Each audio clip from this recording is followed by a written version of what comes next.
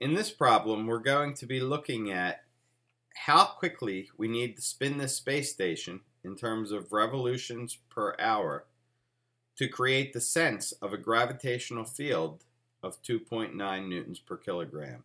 Now, obviously, we are not making a real gravitational field, but to a person on the ship, it will seem just like a gravitational field. They will experience a force normal from the walls or the floor of the space station, depending on how you're looking at it. That normal force will be pushing them toward the center of the station, and this will be necessary to keep them in circular motion. Without the walls of the space station, the person would travel in a straight line, as their natural tendency would dictate. So, since we're moving in a circle, we use our formula for the circular acceleration which we know is v squared over r. We know we want to create an acceleration in this case of 2.9.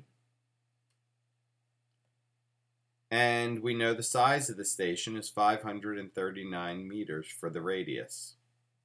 So we could solve for the speed that the station edges need to be traveling.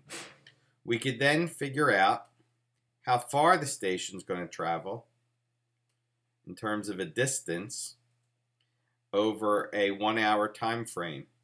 Once we know the distance traveled, we could take that distance, divide by the circumference of the space station, and the result will be the number of revolutions it will do in one hour, which was our original goal. So this will allow us to figure out how many revolutions per hour we need to give our space station to create the sensation, the sensation of gravity that we would like to produce.